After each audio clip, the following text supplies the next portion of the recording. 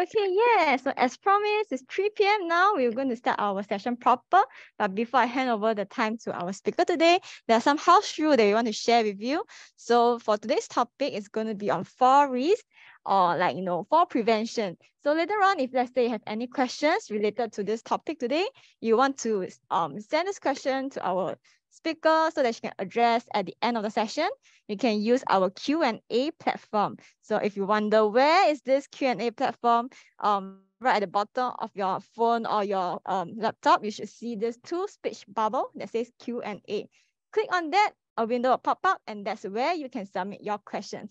If you're wondering why there's no um, audio or video functions that um like the usual Zoom meeting session, so just let you know, it's a webinar session and it's going to be a recorded session. So if you are not able to find any um, audio or video function, it's because it's being disabled.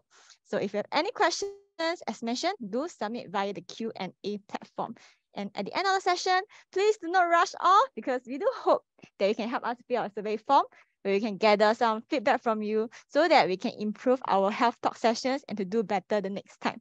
Right, so without further ado, I would like today uh, Sister Yan Ling to take over the talk and she will be sharing on the title, Stepping into a Healthier You, Fall Prevention Tips for the Elderly.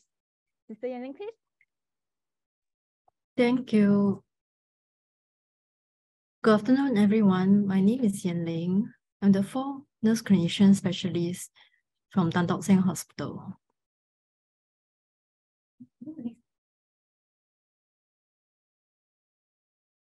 Yeah, just give me a minute. Yeah. Today I'm going to share with you how to keep yourself healthy by having some fall prevention tips for the elderly. Today I'm going to run through with you the importance of fall prevention, common risk factors leading to fall, fall prevention tips for the elderly. So why is fall prevention so important. You can see these three groups of elderly. They are like exercising, dancing, singing, or doing what they want to do. So normally we want to live a more quality life as we age, to be independent as much as we can. So how do we want to achieve this? That's why fall prevention is very important because it not only can prevent injuries resulting from falls, injuries we are talking about are fractures, and when you are having some internal brain injuries, so all this can cause us not to be independent. We will have to depend on other people to take care of us. And if there is no carer, we might have early admissions to the nursing home. That's why there is the importance of fall prevention. Before I teach you some of the fall prevention tips for the elderly, let me run through some common risk factors leading to falls. As we age, we might experience some of the changes. Things like you might wonder how come your eyes become so blurred. As we age, our vision become less blur, uh, sorry, less clear. So therefore, sometimes we might have some eye diseases like glaucoma or cataract like what you can see on the screen that make your vision to be quite blurred. Not only that, our hearing actually will become decline and we cannot hear what other people are talking. And we also cannot enjoy our favorite music or drama. Therefore, communication tends to be decreased and we can't actually um, enjoy what we want to do and people don't want to talk to you. So maybe our memory might also decline because of that. Our limbs also become decreased sensation. You might have a feeling that you are walking on ice every time when you walk barefooted, or when you are buttoning your clothing, or picking up the food via the chopstick. So you might have difficulty in doing that we might have loose tooth or decayed tooth, and we actually have dentures fitting. But then sometimes the dentures might not fit our mouth so perfectly. We might have some sensation loss of the taste buds, and we might have difficulty in swallowing. If all these changes might decrease our appetite in eating, we might not want to eat so much, and we can't actually tolerate food anymore. For some of us, we might experience frequent urge to go to the toilet, or because we have the fear that we might leak out urine because some of us might have muscle loss around the area or some condition. So we want to go to the toilet very often. So sometimes when we laugh or sneeze, the urine might also come out. And as a practice, most of the elderly, when they see toilet, they want to go to the toilet very fast. We might also have loss of muscle mass as we age. So with this loss of muscle mass, we become weaker and cannot balance well. We might also become more inactive and the cycles goes on. And because of the weakness and imbalance, we tend to walk slowly and more cautiously. Our response to things like ongoing traffic, if the car is coming on to you or someone not onto you or a cyclist just ran onto you, you might not be responding as fast as when you are younger. Our bones might become more fragile. So there's this condition where we actually lose more calcium rather than retaining of the calcium and make our bones more fragile. That is osteoporosis. And with osteoporosis, the risk of getting fractures is increased risk. Our spine and our joint might become degenerative, so we might have arthritis. And throughout the years, if we have pain or um, difficulty in walking, so we might try to adapt our walking to the deformity, and this actually leads to more deform the deformities of the hands, legs, and feet. We might also have chronic disease over the years, like high blood pressure. Like in Singapore, it's actually quite common to have the three highs, the high blood pressure, diabetes, or high cholesterol. If it's not well controlled, we might develop stroke disease over the many years. We might also have heart failures or kidney failures as a result of that. And sometimes we might have memory loss, which is like you might commonly hear one is the dementia. Sometimes because of all these age-related changes or chronic condition, we might still not fall down. However, some acute condition might increase our risk.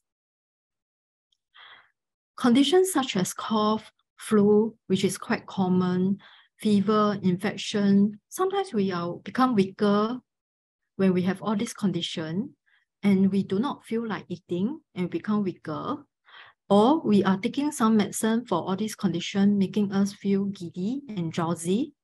Giddiness can also arise from low blood sugar and low blood pressure. Sometimes we might be bleeding somewhere, so we are feeling giddy, weak, or having breathlessness. Or sometimes you will have sudden weakness on one side of the body or the legs, which is a result of acute stroke. Because of all this acute condition, you might have increased risk of falls.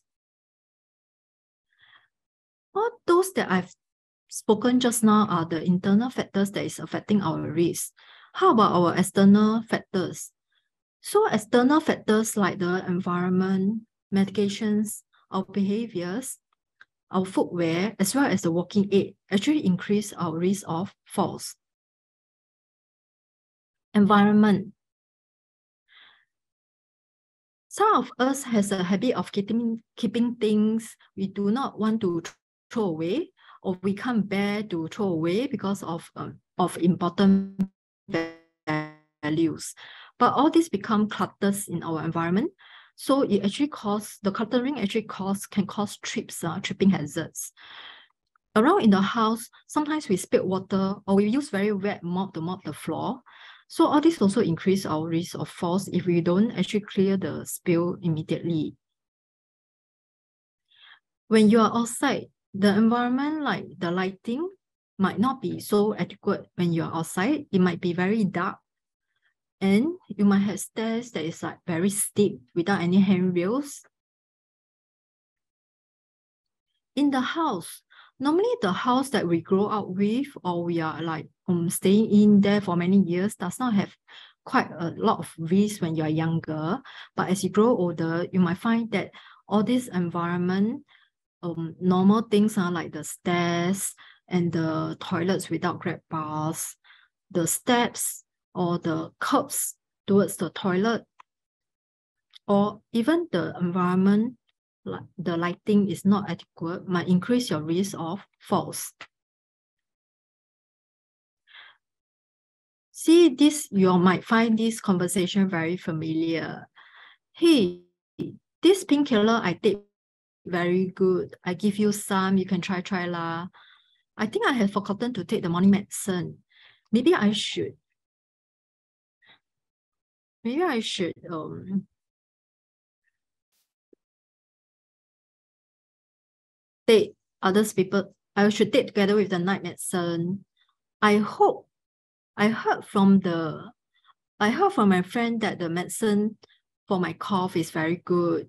So sometimes we might do this, uh, so, but we without knowing that actually there are many side effects of medications. Sometimes we do not follow the prescriptions.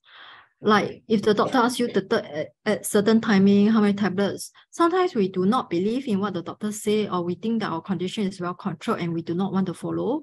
Sometimes maybe because we are like forgetful, so we can't remember to follow the prescription also tends to, you know, place the medicine in another medications package or container. So we get confused ourselves because by reading the label, it actually belongs to another medicine. We also tend to take over the counter medications because that is actually very good. So it's actually quite common to take over the counter medications nowadays, but we do not know whether they, they have any interactions with your current prescriptive medicine. Also, sometimes we will try to try to um, try friends medicine, or if um your spouse is taking some medicine and she's she or he is no longer taking, and you think that you you you don't want to waste the medicine and try to take their medicine. So all this actually increase our risk of false without knowing what are the side effects or interactions that we, when we take the medicine. So as you can see, some of the our actually our behavior we grow up with is our habit. Uh, it's very difficult to change. But if with all the age-related changes and chronic condition, you might find things that is very difficult to carry out this task like before. Like we will stand on the ladder or chairs to change a light bulb, or overreaching to a higher or to the things uh, that is on top of the cupboards, or standing on a chair to reach for it. Sometimes we actually um most of the times we will actually try to stand to wear and remove the pants, which is actually quite normal for us. But as you don't have balance or weakness, this actually increase our risk of falls. Um, some of my elderly patients, they actually still do laundry on their own. They want to wash their laundry, so they will sit on the plastic low stool but then because they have weakness, then they might not be able to stand up properly or they might sleep because of, of the slippery and wet floor or they might hang very heavy laundry out onto the out of the window. So this actually cause imbalance and they fall down. Other things like if you're like not steady, then we try to rush to answer the phone call As you can see, the lady actually rushing across the road. I noticed that in Singapore, most of the people are in a rush mode now. So we will tend to want to rush to catch the bus or MRT, to rush across the road. There's no cars. And then when the traffic light is like green man flickering, left only few seconds, we want to rush across the road.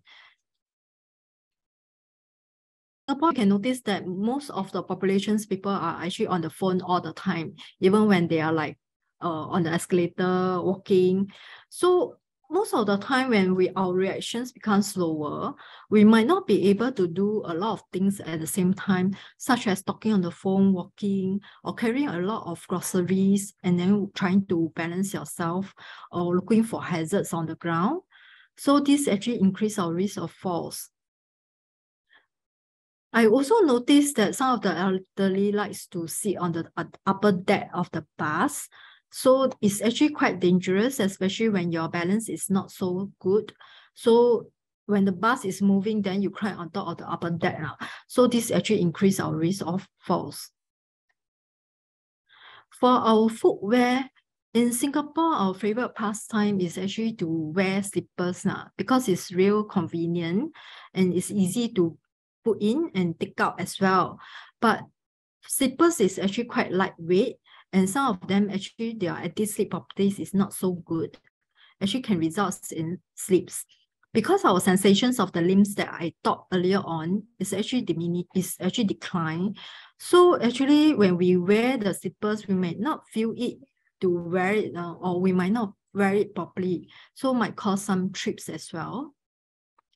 For ladies, of course, some of us will prefer to wear um this quite fanciful uh, high heel um, type of um, slip-on sandals.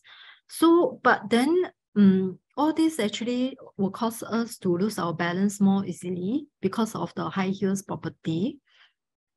For guys, um, leather shoes, they like to wear a size, many of my patients actually likes to wear a size bigger because they find it more comfortable. But if you have like um difficulty in lifting up your feet, you might find that you are actually dragging the shoes. Uh, so that can actually cause tripping and slipping hazards as well. And when we wear our favorite shoes for many, many years, then we forgot to check that whether the soles has actually worn out or not. And this can cause another slipping hazards. For walking aid, most of the elderly in Singapore will be using umbrella when they are not walking steadily because they scared that they might fall down. Also because umbrella they can actually use to stop, you know, when it's raining, then they can use it. Uh. But then is the umbrella suitable for you if you're not steady at all? So is it appropriate for you when you're not steady? Sometimes your children might buy a lot of walking aid for you, thinking that you're not steady and encourage you to use it. But have you learned how to use the walking aid? Is it of appropriate height? Is it of the type of walking aid that you require? And like the shoes, do we really check the stoppers to see whether is it worn out so that we can actually change? So after knowing all of the risk factors that is leading to increased risk of falls, of course, some of the um, risk factors that we cannot modify and change it, but there are definitely quite a number of them that we can actually try to modify or prevent it. So let me share with you some fall prevention tips. Number one, protect our vision. How do we do that? By protecting our visions. It's encouraged that you check your eyes at least once a year. By checking your eyes at least once a year, we can actually detect the eye diseases like cataracts or, or glaucoma at an early stage, and sometimes maybe cure for the eye diseases.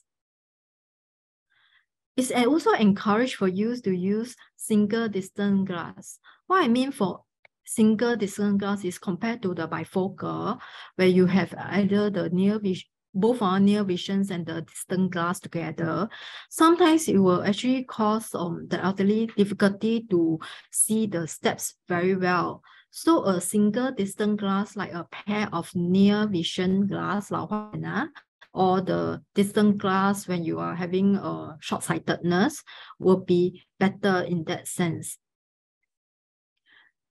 Avoid going out at night if your vision is less clear because the outside environment I cannot control the lighting.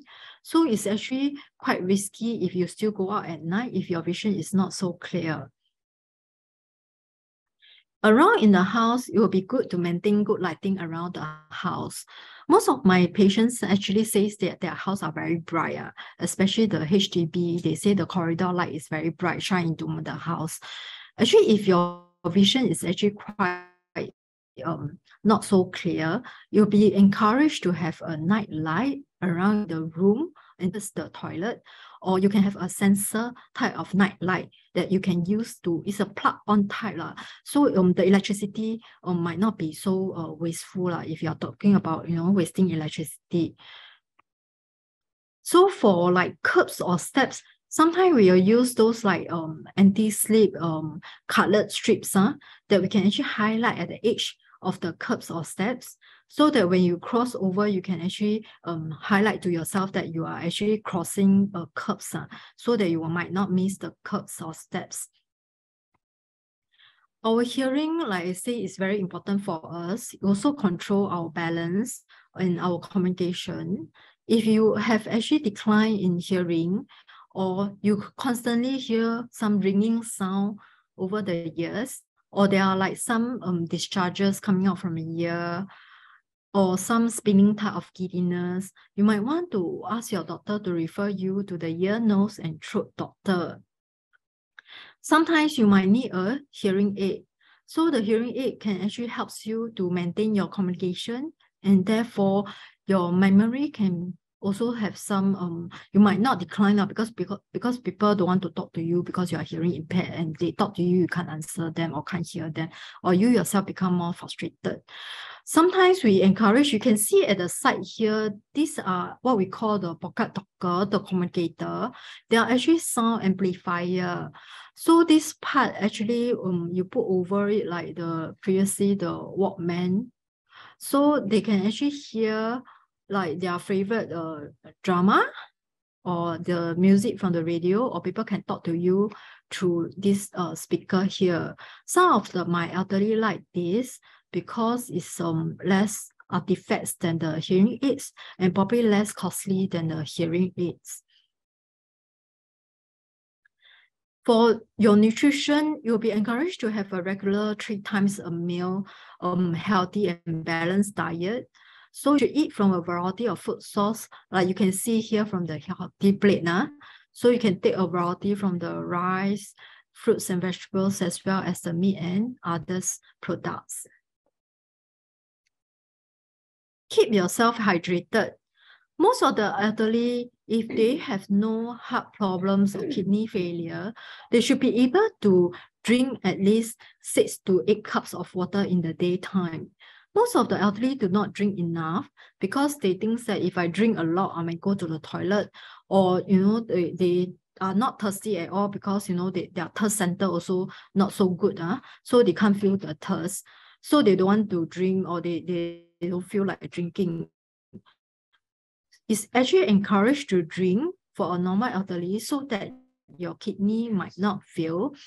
And then also the kidney might be dehydrated like, if you don't have enough water. And sometimes when you change position, the blood pressure might drops. So that might cause giddiness. So it's actually quite uh, brutal to actually drink um quite a number, uh, six glasses at least per day, unless your doctors advise otherwise. Okay, talking about bone health, so we prevent osteoporosis, fragile bone. If I can't reduce the risk of falls, then can I build up my bone so that if in case I touch wood, I fall down, I can actually prevent some fractures? So how do I do that? Um, I have to actually ensure adequate intake of calcium-rich food. What do I mean by calcium-rich food? Things like milk and milk products, soybean, soybean products, green leafy vegetables, as well as um the sardines uh, with the bones are all calcium-rich food. So we try to take as much as possible if you can tolerate and get at least 15 to 30 minutes of sunlight a day. Without sunlight, our vitamin D uh, might be decreased. Sometimes we'll actually, uh, we cannot absorb the calcium very well into our bones. We should also actually avoid uh, excessive intake of smoking and alcohol intake because all this can actually prevent us from um, the bone density uh, might become more um, lower if we have like smoking, excessive smoking or alcohol intake.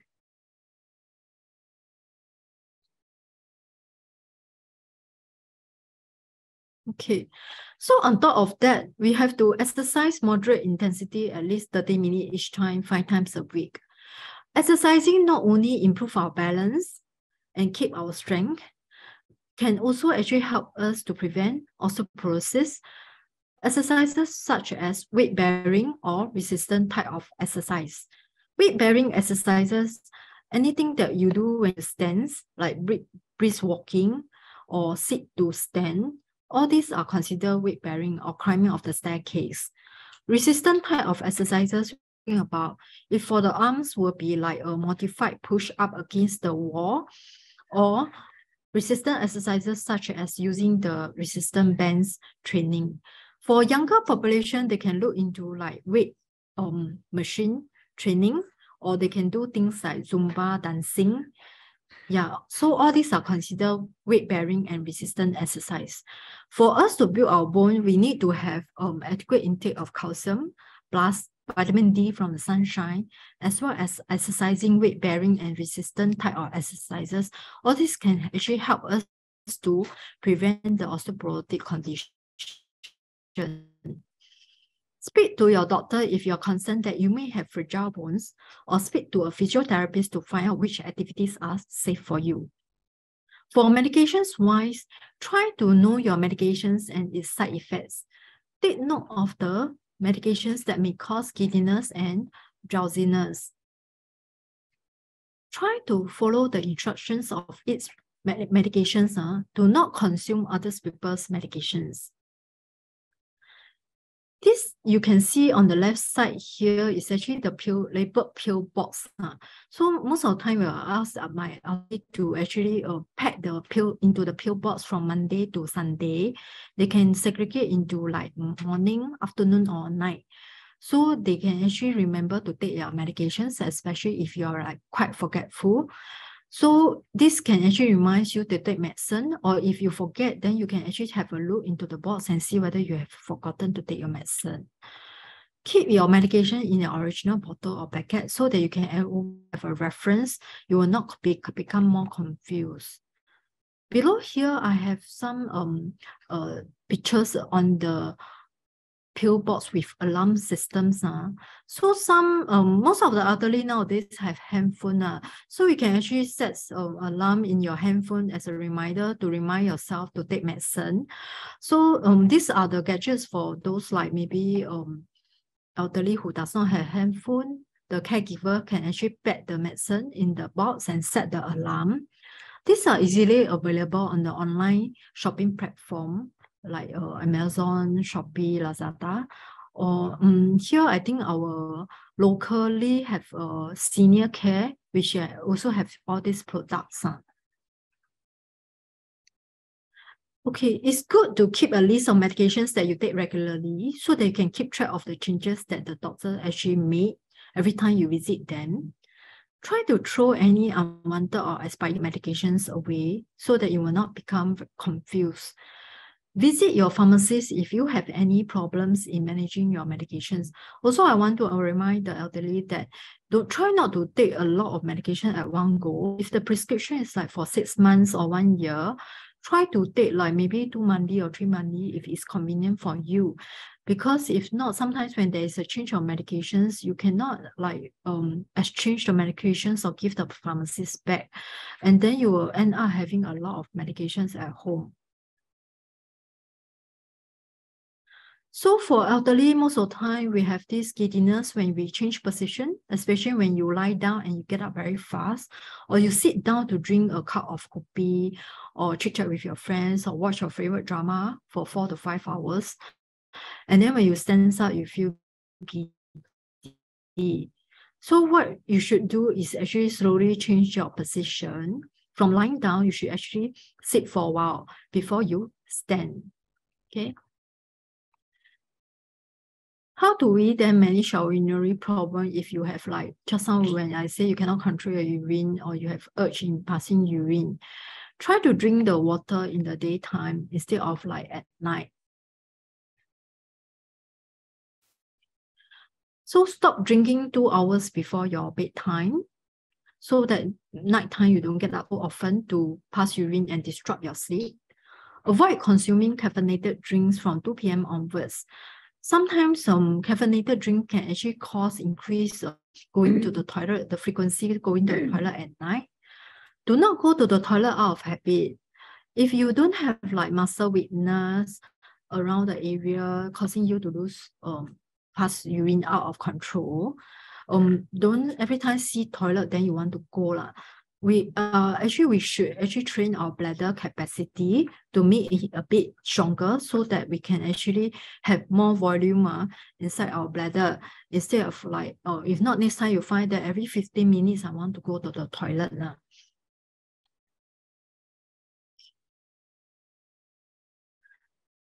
So for elderly I will recommend that you all use the elastic rubberized pants so that if you have the urinary problem, so that it's easier for you to remove and, and uh, go to the toilet. Uh. So you can see here that there's this, uh, commercially, they are actually have this uh, urinary incontinence pad. It actually looks like the female sanitary pads, but actually it's for absorbing of urine. So it's available in all of the shopping malls. Uh you can actually see there are like different level of uh, incontinence status, how severe is the urinary incontinence, then you can actually, it's a different thickness. Uh. So you can actually paste over the this and then very, this is, the one beside is actually for guys. Uh. So for guys one, there is also uh, products like this available in the market um, these are not uh, diapers. So it does not, you know, if you wear diapers, it's actually quite bulky and people will know that you're wearing diapers and it's quite, actually quite embarrassing if you are going out. This actually, um, when if you are actively still very active outside and you have this urinary problem, so you can actually wear this so that you do not need to um, rush to go to the toilets. But um, please change it if it's soaked. Huh? If not, then uh, we'll be worried that there will be some infection.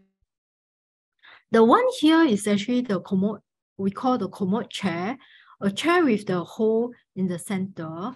Elderly who has difficulty in walking or the toilet is very far away and they have a lot of urine at night can consider to use this at the bedside. Then they can clear the urine in the morning. They do not need to go to the toilet so often. For guys, you can actually buy a urine bottle or pill, place it at the bedside. If you are not steady, it's preferred that your urine bottle or the pills uh, be placed at a chair, on top of the chair at the bedside uh, so that you do not bend down to reach for the urine bottle. Okay, for our behavior, how our behavior to maintain safety. Okay, so instead of like putting things uh, that commonly used on top of the cupboard, try to put things at a reachable area. Instead of hanging the heavy laundry out of the window, maybe can consider using a hanger or using the clothes threads like is here. Instead of standing, I always encourage my elderly who has uh, like um difficulty in balancing or weakness of the legs. Huh? It's actually safer to sit down on a chair, a steady chair, uh, or a toilet bowl to wear your pants or remove your pants so that you do not lose balance. If you are comfortable or no one is at home, you can actually wrap a towel and come out to the bedroom, sit on the bed to wear or remove your pants. Some of us like to wear trousers that is like very long or because it's so loose at the waist that we did not go and buy a newer pants or you know some of us uh like um some of the races they have the, those long sari or the baju kurung that is actually quite long. So it's actually preferred that the length be at the ankle height so that you can actually see your feet where you are going and not obstruct it uh, so that you will not cause trips Other things is like um, the use of nightlight that I mentioned earlier on. Ensure that your walkway is free of clutter. Keep electrical cord away from walkway. Clean up spills as soon as possible. Ensure the furniture are of appropriate height. meaning that they cannot be too soft uh, like your bed mattress or the sofa. Sometimes you have difficulty in getting up. Try not to sit on chairs with wheels uh, or try to you know um, move around with uh, things with wheels uh, so that is actually quite dangerous. Uh, of course apart from your uh, walking aid with wheels uh, which is uh, prescribed um, you should not be using uh, furnitures with wheels which is actually quite dangerous uh. use a non-slip mat. Sometimes we can also use the non-slip mat underneath the rug so that to prevent anti-slip property Install grab bars in the toilet. Um, currently, HDB is actually goes around some of the estate, which is like maybe um, above 30 years old, to do the home improvement program. For um HDB type of house, uh, which actually already uh, over the HIP program for many years, or they did not choose or opt for the grab bar installation that time, can always call the HDB um, to actually arrange with the contractor. There's this baby project called the EASE, E-A-S-E. You can actually go to the HDB website to have a look.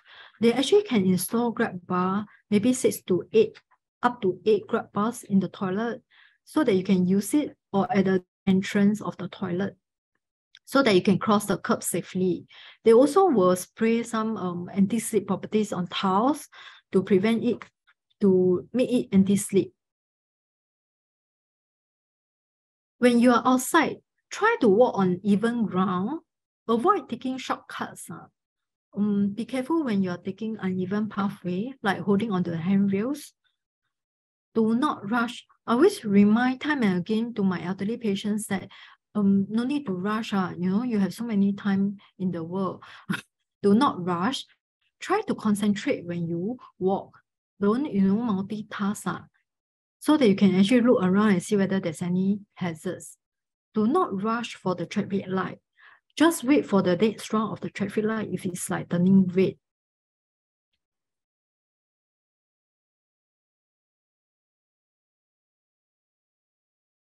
Do not stand when the bus or transport is moving. Try to sit nearer to the exit door or public transport then you will not be um, worried uh, that if the bus stop and and you cannot make it to the doorway. Use the lift instead of the escalator if you are not steady on your feet. For elderly who is actually not steady in walking, try to use a walking aid, a proper one instead of the umbrella. There are actually two types of umbrella. One is actually the normal umbrella, which look like a walking stick. The other type is actually a real walking stick that they make it look like an umbrella. So the difference is actually the weight. Uh. You can actually check out the weight of the, the umbrella walking stick. The one, the real walking stick one is actually a bit heavier. Regularly check and change the stopper if it's worn out. How can I check the height of the walking aid? So normally the physiotherapist who prescribe the walking aid will actually tell you, or if you are buying on your own the walking stick, you can actually uh, measure the height when you are standing straight, uh, relax with the arms by the, the side. When the handle of the walking aid is actually at the wrist level, that is the correct size. Sometimes if it's like getting too tall, for the walking aid, your shoulder might have some pain after a long while. And then if it's too short, then your posture might not be so good anymore. Consult your physiotherapist to determine if you need a walking aid and the type of aid which is suitable for you. A lot of my patients ask me, how do I choose a proper footwear? So for a property of footwear, we will prefer the elderly to choose something with lace or Velcro so that it's easier to put on. And also lace and Velcro um, hold the foot more firmly instead of those like slip-on shoes.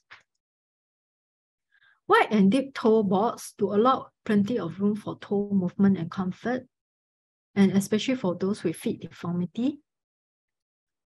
You can see here that the heel cup is firmer, not so flimsy. That's why you cannot actually sleep on. Uh. It's actually better if you can sit down and wear your shoes.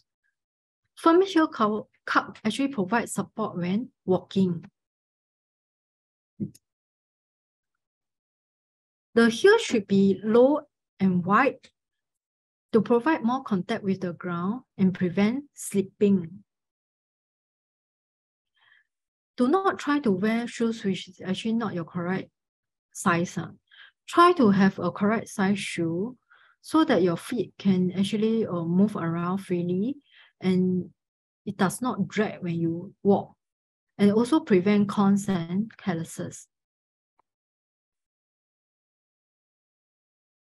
The soles here, how do I know there is an anti-slip property? Can see that if there's a lot of these um, catches, uh, the deep line will be the anti-slip properties of the sole. And it should not be, it should be thin enough for your feet to reach the ground to prevent slipping. Now, try not to wear shoes that is like having a lot of uh, anti-slip properties, uh, like the whole shoes is rubberized. Uh. So these shoes, uh, if you are not lifting your feet, you might end up tripping. And rubberized shoes, uh, if too much rubber, if you are in the very wet flooring, you might actually slip. So, view some of the risk factors of um, falls leading to falls, and of course, tell you some of the tips to reduce your risk of falls, or just summarize some take home message if you cannot remember the whole chunk of it uh, after today's session. So, some of your take home messages will be go for regular eye checkups, maintain a well balanced or calcium rich diet, exercise regularly to improve your strength and balance Review your medications with your doctor. Practice safety behaviors. Use suitable walking aids which are prescribed by your therapist. Wear proper footwear and shoes. Okay, with this, um, that's the end of my presentations. Thank you very much. Okay, thank you, Sister Yanling. Um, yeah, so now we'll be moving on to our Q&A session.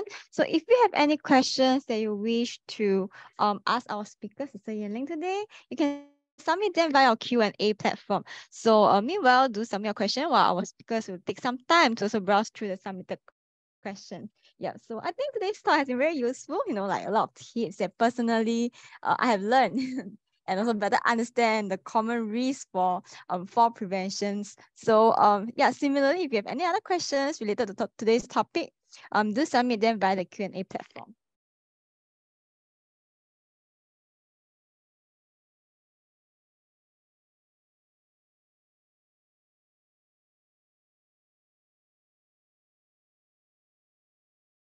Okay. Yeah, I have uh, some question here. I'll just try to answer.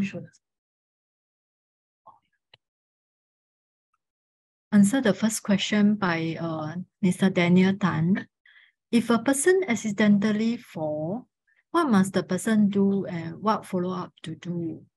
So if a person fall down, most of the time my elderly patients will say that there is um, um, I don't know whether is it me for saying going around that you cannot help the person if they fall down, you know, they have to get up on their own. So okay, so so actually if a person fall down, first you have to check whether the person has any injuries that they sustain during the fall. So if they have no major injuries or pain, and if they are still quite alert and conscious, you can actually ask them to actually see whether help them to get up. Or if there's a chair or bed around, you can actually ask them to use it as a more sturdy support. Nah? Use the arm to try to use the support of this sturdy furniture to help themselves to stand up and you can assist on the side. Uh. And then also you have to be wary that the person helping the, the person who fall down uh, cannot be too elderly and fragile. Uh. So the next thing is if the elderly is on any like medications like blood thinner or any osteoporosis condition, or if they are not conscious, or if they have major injuries bleeding, it will be more advisable to actually get them to see the doctor immediately to rule out if there is any injuries. Now. or you can actually try to observe the elderly for like 24 to 48 hours later to see whether there's any pain, any drowsiness, or if they are started to like um, feeling more giddy or vomiting or unwell. So the next question is the slide tip six. Slide tip six, I think is the vision one, is it? Mr. David? Okay. Oh, huh? number six, right? Oh, yeah. tip six. This oh, one, is it? okay. Uh, Yeah. Yeah. So, yeah, this is the postural um, giddiness precaution. So just emphasize that whenever you change position, try to side lie, uh, then you get up and then you sit for a while. If possible, maybe you can do some exercises on the legs huh, to move around and then before you try to stand up.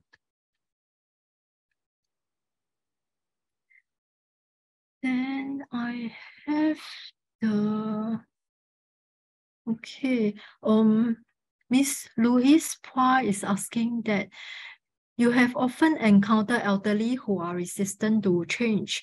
So how can we help them? So a lot of times we will say that, oh, when we get older, we become more stubborn. But sometimes I think it's our personality. Uh. And then sometimes also maybe because some memory changes, they may not see the benefit of changing their behavior. You know, that's why it's very difficult to talk to them. So very often, sometimes I will tell the elderly the consequence of um false first. Lah. If I meet with such an elderly, like, you know, I will scare them a bit to uh, to tell them that you know if you fall down you might have injuries and you might not be independent because i think a lot of us wants to be independent and don't want to depend on other people. So if they don't want to have injuries and they want to be independent then they should actually try to change some of the things our behavior so that we can actually maintain our independence yeah. Uh, i hope i answer uh, louis questions. So um, I have one question about recommendations of exercise to improve balance. So actually, um, exercises to improve balance is actually for elderly who are not steady in walking. We actually quite um concerned if we the exercise may, must be actually targeted to the person. So um I cannot like you know without not seeing the patient to recommend any exercises, but there are like few uh, exercises. Actually, you can actually go to the Tan Tock Seng uh, website, uh, the Tan Tock Seng Library, Health Library. You can have a search. Uh, there are actually some exercise by the physiotherapist, some simple exercises that you can do to improve your balance and strength. Also, I think the Health Promotion Board, if you go to their website, you can also search for some exercise uh, simple exercises that you can do. If you want a more targeted exercises to improve your balance, then you can actually consult or, or ask your doctor to refer you to a physiotherapist. Then they will be able to assess what is your deficit and therefore give you recommendations uh, on the type of exercises to improve balance. Okay, I have another question asking, is a frame with roller good and how to choose? So normally, um, elderly who use a walking frame. So a walking frame is a four uh, is a whole side one with the roller in front or at the four side. So um actually the roller frame are specifically targeted for a specific group of elderly. Um, this will also have to depend on the prescription by your physiotherapist on what type of walking frame is good for you. So generally, frame with roller will be good for elderly patients who can't lift up the walking frame to use it like the arm got some pain or, or they have no, not strong enough to lift up the whole walking frame. And also elderly who cannot actually um, lift up the foot really very well uh, like uh, elderly with Parkinson disease then the frame with the roller will be good.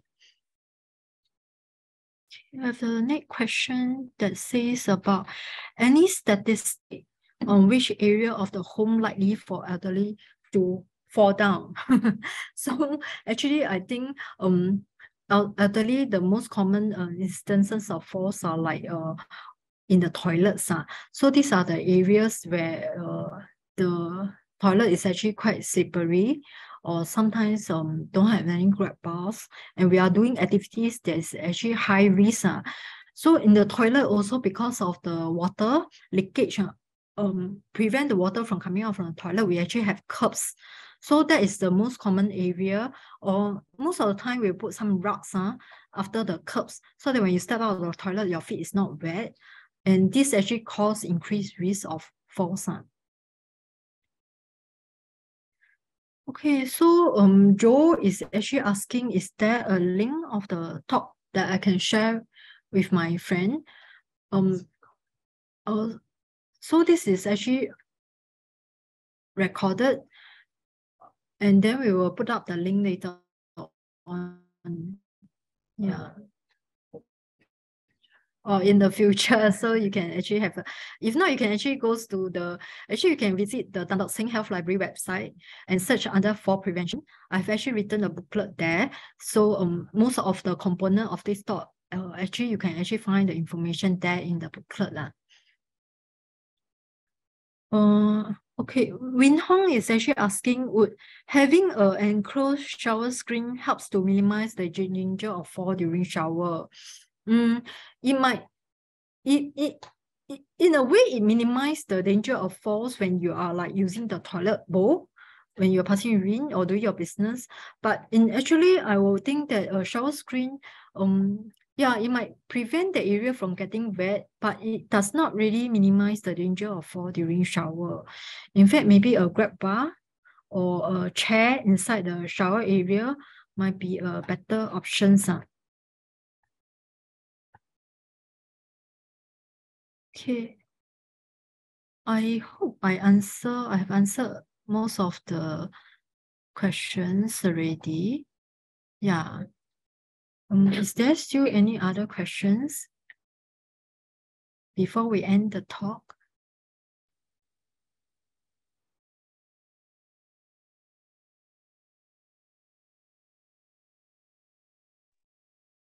Okay, Ken. Um, so thank you so much everyone for your participation. We do have a lot of um questions that came in today, and I think it's um it's very good to help us better understand this topic. So if you are also interested in our other health talk that's coming up in March, so here are the details. There's one on Dietitian Day that's happening on the 9th. And if you're interested, you can scan the QR code or access the link so that you can sign up for our upcoming talks. And on top of that, if you want to receive uh, more updates on the happenings and so the other talks um, after, you know, in March and April onwards, we also have this um, Facebook page that you can um, actually follow us.